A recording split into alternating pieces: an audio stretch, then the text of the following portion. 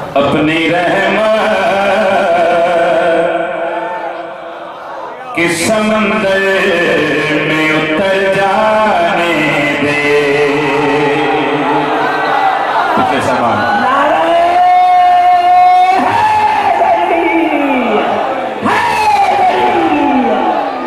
اپنی رحمت کہ سمندر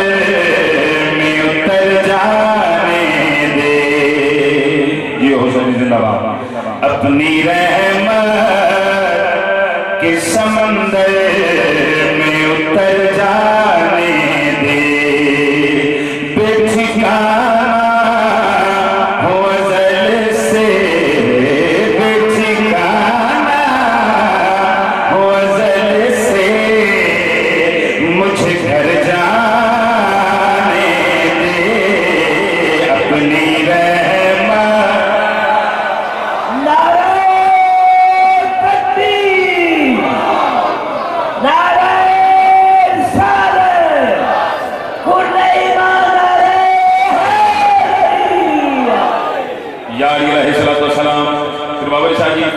سج گلال اس دور دے شاعران سنی بھائیاں، اس دور دے نال خانہ اینات پڑھی انہاں کہ اپنی رحمت کے سمندر میں اتر جانے دے۔ لطف لینے میں حسین انہاں کہ اپنی رحمت کے سمندر میں اتر جانے دے۔ اپنی رحمت کے سمندر میں اتر جانے دے۔